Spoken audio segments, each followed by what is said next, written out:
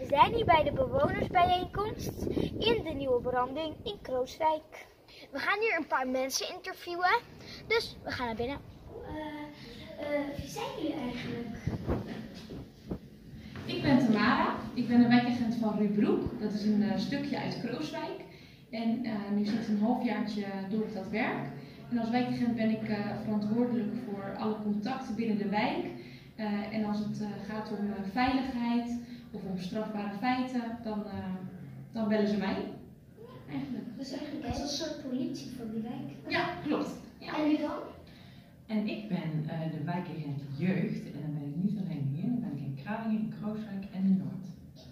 En ik doe eigenlijk alles wat over jeugd gaat wat met politie te maken heeft. Een soort van kinderpolitie.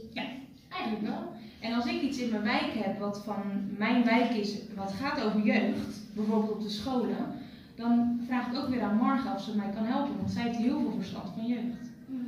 Dus zo proberen we ook weer een beetje samen te werken. Waar zijn jullie vooral mee bezig? Wat zijn jullie plannen voor de toekomst en zo?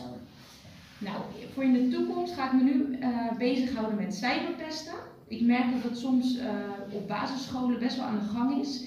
En eh, nou, cyberpesten, dat is pesten, maar dan ehm, eh, via de telefoon bijvoorbeeld. En dat is iets wat, ja, het mag niet, maar het kan op een gegeven moment ook strafbaar worden. Oh, welke straf kan je krijgen?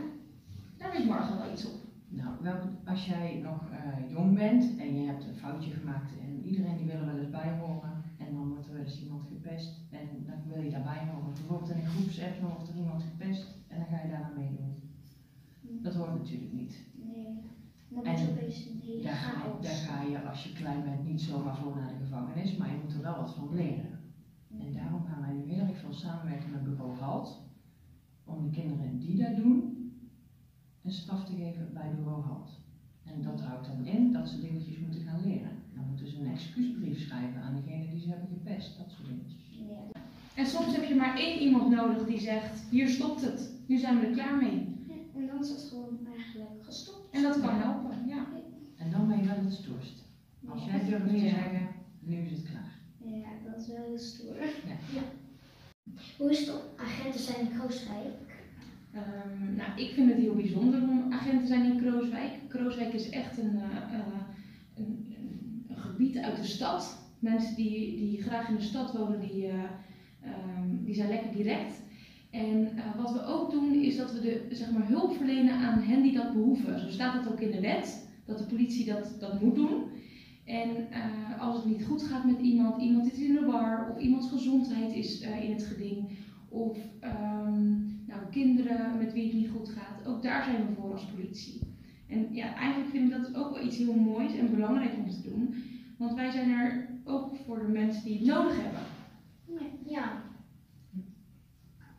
Ik heb het ook hartstikke naar mijn zin hier. Ik vind het hartstikke leuk werk. Hier wonen hier zoveel verschillende mensen.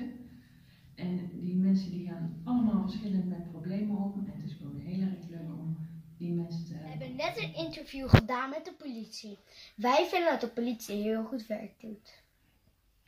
Wij zeggen ja tegen dus lief. Doe je mee?